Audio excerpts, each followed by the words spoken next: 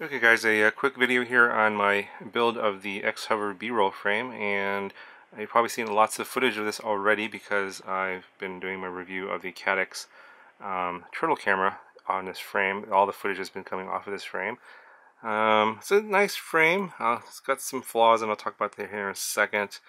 Um, decided to build this with some Emax 1106 motors. Uh, these are the 4500 kV with I'm running these uh, Avan 3 inch props and I did that based on the uh, video you saw earlier on the Babyhawk R 3 inch and the really long flight time I got with that one.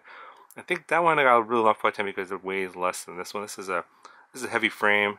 This actually weighs I think about 30 grams more, so um, I wasn't able to get as long of a flight time uh, using this setup. So uh, if you're going to go with like some an 1106 type of motor, you should probably get a different frame that's going to be lighter.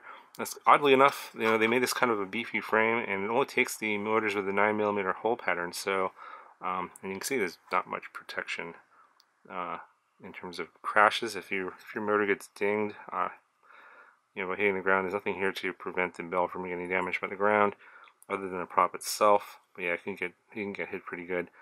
Um, yeah, uh, I'm not really going to talk too much about the build because um, the parts in here are just like some random stuff I put together. Really, what you want to do is you want to get two 20 by 20, uh, you want to get a 20 by 20 stack, obviously with a 2 millimeter hole pattern. If you get the, if you use any components with a larger, like a three, these are a 3 millimeter screw, uh, the 2 millimeter screws will obviously fit those, but then they'll be, might be a little bit loose. The other thing that I noticed about this frame is that the st two stacks are really close together. You can see there's not much space there. So you're going to be limited to as to what kind of boards you can put in here. You can see that my boards are practically butted up against each other there. There's almost no space in between.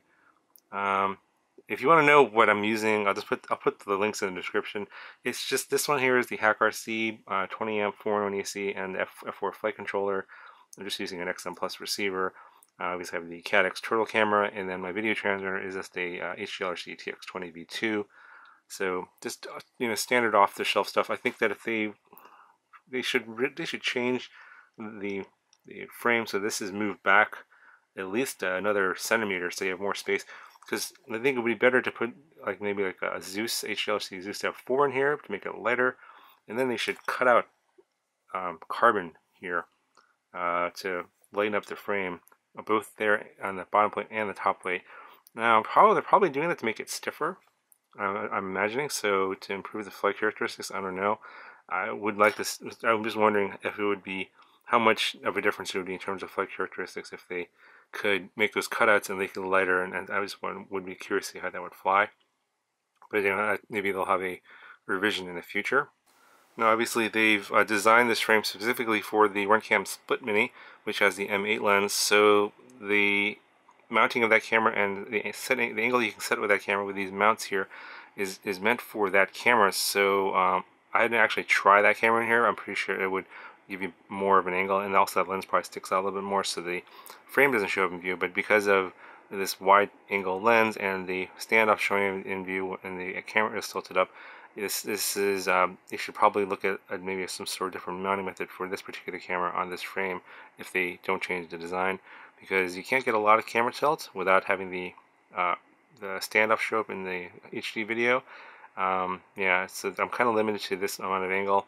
Actually, I probably need to even get it down a little bit further. But so, uh, if you're not using the split mini, if you only use the turtle camera, you're going to have this kind of an issue with this uh, particular frame on this camera. Okay, so the weight of this uh, with the components I put in here, it comes in at 117 and a half grams. So overall, I think it's a decent frame. I think it'll hold up pretty well in crashes. Pretty decent camera protection if you're not if you're willing to go with the split mini. Um, maybe not have to deal with the camera angle issues. Uh, flight characteristics are fine. Uh, no, no, issues with that. I don't, I don't think this is really meant to be like a racer or um, something you know that's going to be uh, flying super fast. If you're uh, going to be just using this to take HD footage in like areas that you normally can't fly 5 inch, then something like this would be just totally fine. And that's kind of what I'm going to be using this for with the HD footage I get from this camera. Just, you know, fly wherever, uh, local parks, and it's nice and quiet. And you get some HD footage of you flying around, cruising around, you know, somewhat acrobatic, but it's not. Uh, obviously, there's going to be other frames out there that are going to be better suited for racing and stuff like that than this one. This is really meant for capturing HD footage. Anyway guys, I'll show you a little bit more footage from this camera and flight from uh, another flight from this particular frame. If you guys have any questions, let me know and I'll talk to you guys in the next one.